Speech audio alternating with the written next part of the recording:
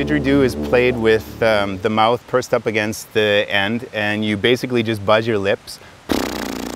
And what happens is you start to create what's called a circular breath.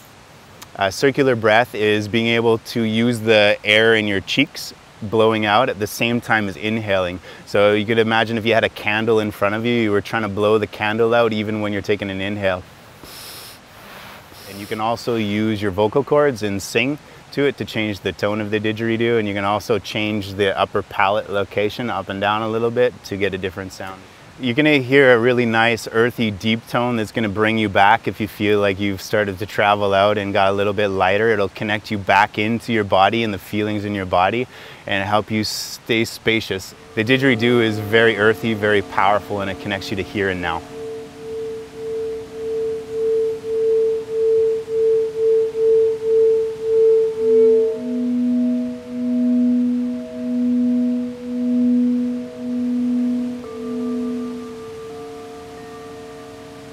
Crystal bowls are relatively new uh, in terms of sound healing. They come out of the computer industry. These bowls are a pure tone generally, a pure frequency, which means they're a really good environment to grow crystals.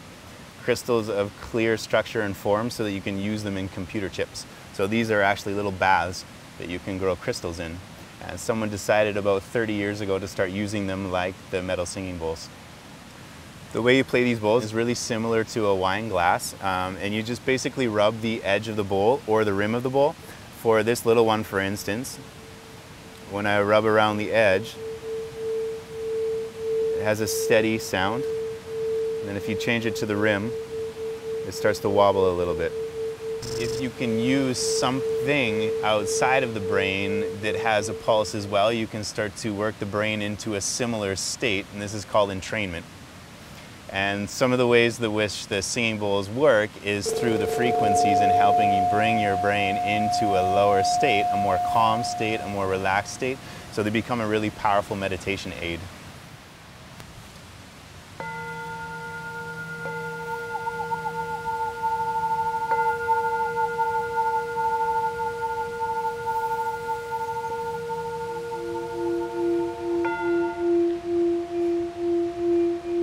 The really cool thing about these metal singing bowls is that they have overtones. So there's multiple notes in one bowl.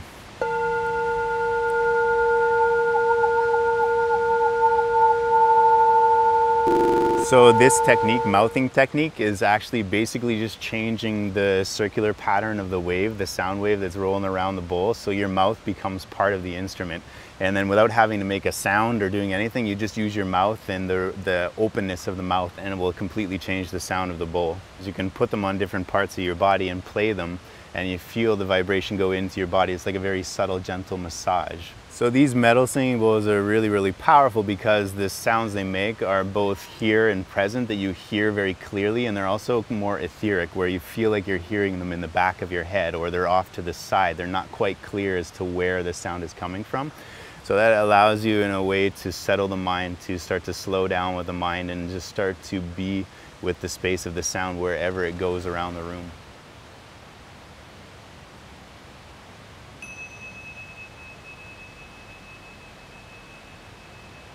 Every chime generally comes with their own prayers and they're really, really cool because they have, again, one main note, but they also have overtones. And when you play them, if you get them close enough, the sound waves start to interfere so that you start to hear a wobble.